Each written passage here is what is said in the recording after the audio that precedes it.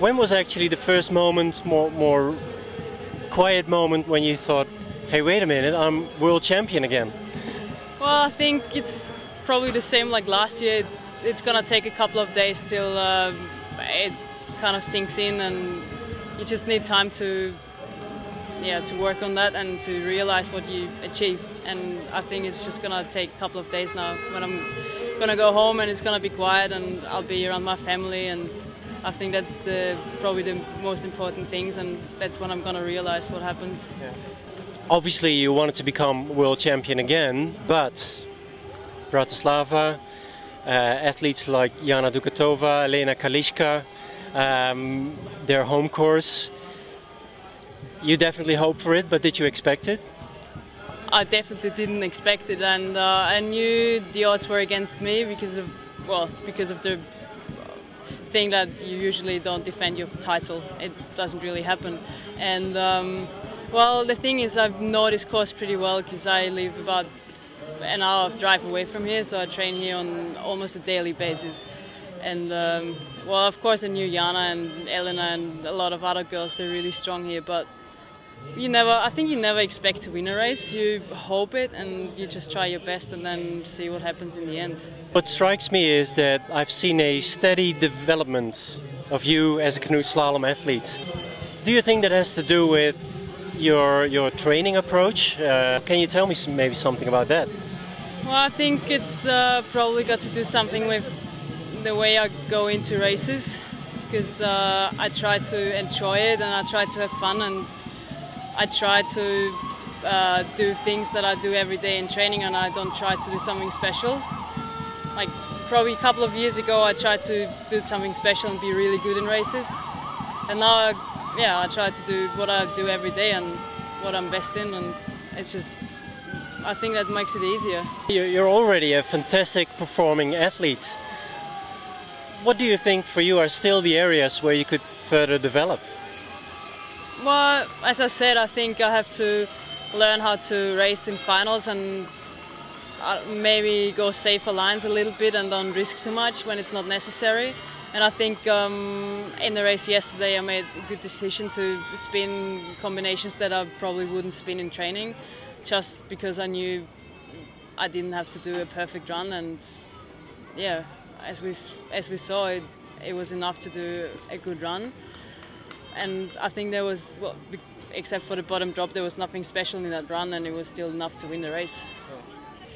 Can you explain me how the Olympic qualification process looks like for you in Austria? Eh, what have you already, let's say, earned here in Bratislava, and what does still need to happen uh, back home in Austria? Um, what happened is that the World Championships were the first race for our selections, so I've got to win down and we have two more races next year to come, which are the Europeans and the first World Cup in Cardiff. And um, well, yeah, you need to win two out of three races, and I've got one win down. So, well, I hope it's going to be good in the end for me. What would you advise young female athletes?